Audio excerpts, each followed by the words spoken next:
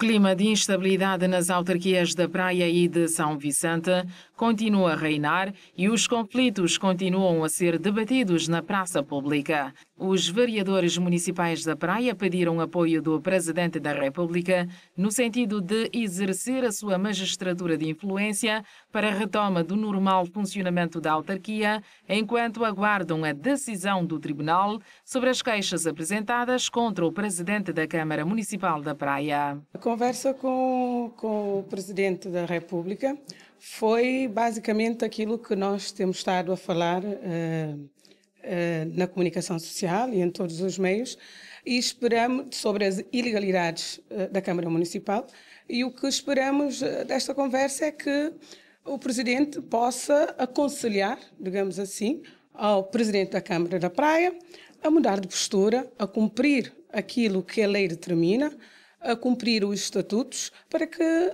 as reuniões da Câmara Municipal possam funcionar de forma tranquila. As ilegalidades já foram pronunciadas a todos os níveis e até uh, no Tribunal existem três processos que aguardamos as decisões. Que se decida os processos pendentes de forma a clarificar uh, aquilo que eventualmente esteja uh, a causar algum mal-estar e algum conflito nas reuniões da Câmara. O chefe de Estado diz que o apelo à pacificação é permanente, assim como a elevação e a não pessoalização do debate político, com vista a garantir a estabilidade no poder autárquico, tanto na cidade da Praia como em São Vicente. Uh, o respeito mútuo é importante uh, esses ingredientes para defendermos as instituições. As instituições são pilares importantes do Estado de Direito Democrático e é fundamental defender as instituições. Uh, um outro apelo é no sentido dos conflitos políticos serem resolvidos no espaço próprio. E, e não uh, termos a, a tentação de estar a judicializar eh, questões que poderiam ser resolvidas politicamente.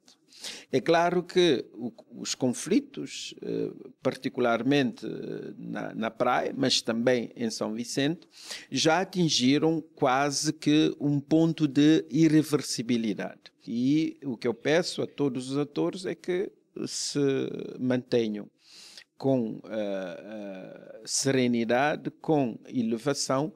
Espero que os tribunais decidam o mais rapidamente quando possível uh, para podermos defender aí sim os interesses dos praenses e os interesses dos são vicentinos. Resta agora aguardar o resultado das inspeções feitas na cidade da Praia e também o desfecho dos processos nos tribunais para que, de acordo com as decisões judiciais, medidas sejam tomadas para a resolução dos conflitos nas duas autarquias.